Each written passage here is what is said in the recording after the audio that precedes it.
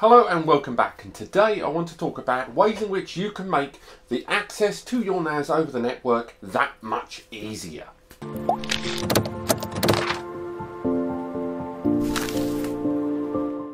So for those that aren't aware, when you buy a new network attached storage device or NAS, if you want to be completely detailed about it, once you do get a NAS, you have to connect the device to your router from your ISP, Internet Service Provider, or one that you buy, or connect it to a switch via a LAN cable. That is a normal RJ45 LAN cable. Would you, Adam and Eve? I don't have one here on camera. Two seconds.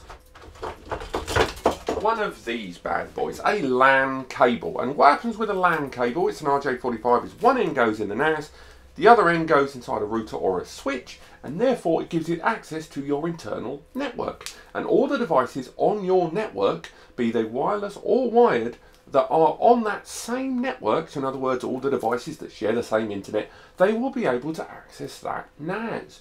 Unfortunately, the number of times where your NAS is going to live can be quite troublesome because a lot of people, I mean, me personally, I have one NAS down here, I have another one on the table, and these I directly connect into. But all too often people want a NAS in a location that isn't that accessible. Maybe it's in a roof, in a shed, in the garage, so basically somewhere where it's not obvious and it sits there in your home or office doing its job unseen. And this can lead to one major problem, namely access, because most NASs arrive like this one with a cable that's about a metre long, two metres long at most.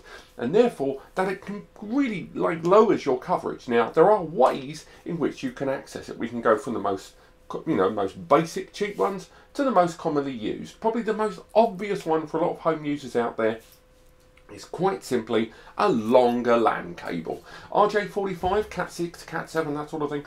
Once you get to about 20 meters, they start to lose their latency the tiniest bit. You can buy 20 meter cables pretty cheap for 5 to 10 quid. And these you can run and connect to an NAS and maybe run it in trunking in the walls, or if you're living in student accommodation and you're, you know, you're paying rent, you can't really go ahead zzz, drilling holes in walls. Then you end up with LAN cables running along the edges and maybe across corridors, just ready to trip someone up. But that's one way you can do it, and I do not recommend that. Of course, there are other ways, and some of the ways are which ones I'm going to talk about today. For me, the best, so rather than give you the best last, I'm going to tell you the best first, is power line adapters. Now, these bad boys are invaluable. Not just to people that don't want to start drilling holes through walls and running cable through it, but also to those that have a simple office or home network where all the elect um, electric devices in that home or office network are all controlled by one main switch. You know that thing when the light goes out in a room and the switch goes down and you have to go there, lift up the plastic, turn it on. Well, that means they're all on the same circuit. And that circuit can be utilised to access your NAS in remote locations of the home or office. Put simply, all you're doing, if I grab that cable that I threw away, one end of the cable will go into your NAS. The other end of the cable, rather than going into a switch or a router, can go into the power line adapter. This power line adapter, and I've got a UK one here, but of course if you are in different countries, different regional plugs are available, and you plug that bad boy into your mains socket. Then at the other end, when near where the router or the switch is, or the NAS, depending on how you want to do this.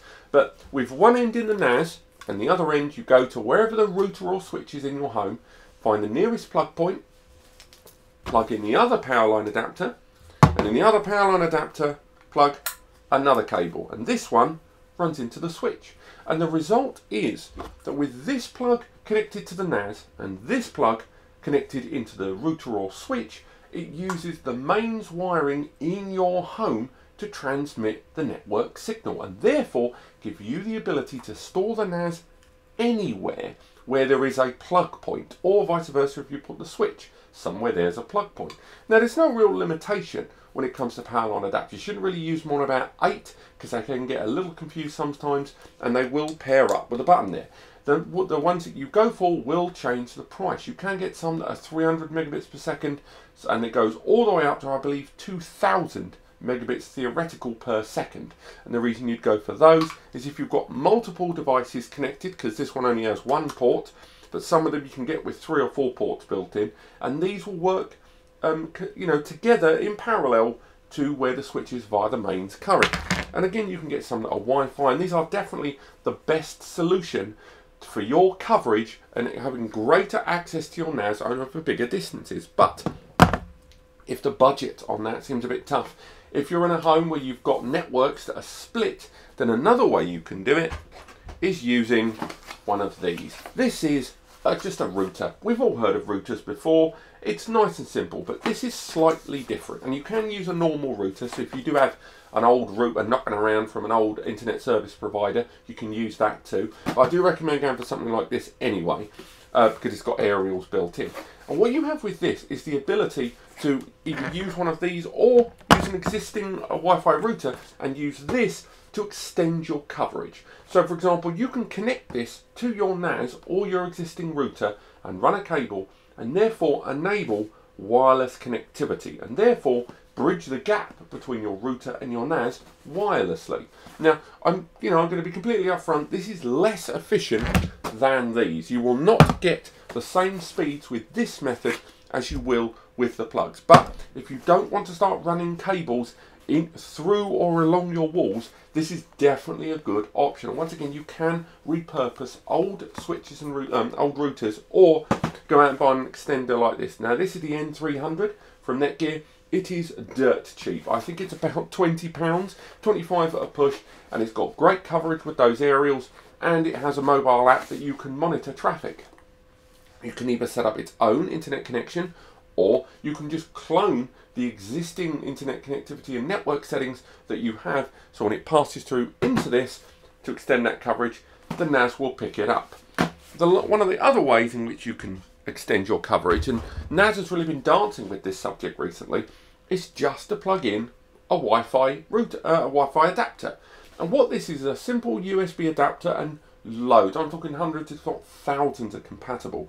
This gives you the ability to connect an aerial to your Synology or QNAP NAS, and then boom, your NAS is wireless now. And if you've got a wireless router over here, particularly good one, that's it. Like any other Wi-Fi device, your NAS can then be picked up by the, uh, by the router and vice versa. And therefore, you can access your internal network wirelessly on your NAS. Once again, even if you get a good Wi-Fi adapter, and I think they go up to 1.2 um, megabits per sec, uh, 1.2 gigabits per second, but more than likely you'll get a 3 or 500 megabits per second aerial. The coverage just isn't as good as standard LAN cables. So if you're using high, dense files, maybe 4K media, that sort of thing, this may not do the trick. But for lots of smaller files, this will definitely work. And as soon as your NAS is on the Wi-Fi network, the NAS will, will enter itself onto the same range as all of your phone, your tablet, your iPad, that sort of thing. And they'll all be there, smart TV, and they can all communicate. Remember, this isn't about connecting device A with your NAS. It doesn't work that way. You've got to think of a network as a circle and the devices have all got to be on it so they can communicate with each other and you can access the NAS. It's not about this device talking wirelessly to this. It's about them both being on the same network, the same railway, if you will, and being able to communicate. Those are pretty much the main ways in which you can access a NAS over greater distances. And once again, I can't stress this enough, power line adapters are the best way to do that. So I can't, can't recommend those enough. Of course, all of this is largely based on network access. If you're going to be accessing over the internet, then that's slightly different because once again, internet connectivity will not be you over here in Spain, let's say Spain, why not, trying to access the NAS. It won't be you accessing the NAS, it will be you accessing your router and then the router being on the same network as that NAS have giving access to it. So it will still rely on how well the NAS lives on the network. What speed are you going to be going low? Are you going to be going medium? Or are you going to be going fast? Those are the main ways to extend your coverage of your NAS on your home or business network. If you found this video helpful, please do click like uh, just let me know can keep me going. Do subscribe to this channel if you'll learn more about the ways to make the most of your NAS server. And do remember to check out the link in the description to nascompares.com where we talk more about this subject and ways in which you can extend, extend things more. And of course, a whole list of the very best powerline adapters right now this year. Thank you so much for watching. I'll see you next time.